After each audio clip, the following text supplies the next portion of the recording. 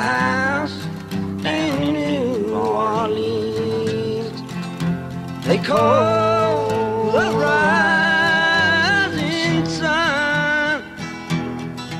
It's been the ruin of many poor girls.